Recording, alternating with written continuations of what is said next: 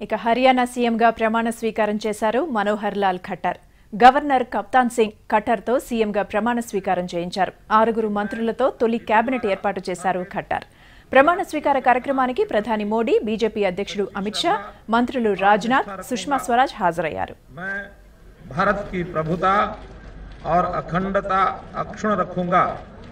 मैं हरियाणा राज्य के मुख्यमंत्री के रूप में अपने कर्तव्यों का श्रद्धापूर्वक और शुद्ध अंतकरण से निर्वहन करूँगा, तथा भय या पक्षपात, अनुराग या द्वेष के बिना मैं सब प्रकार के लोगों के प्रति संविधान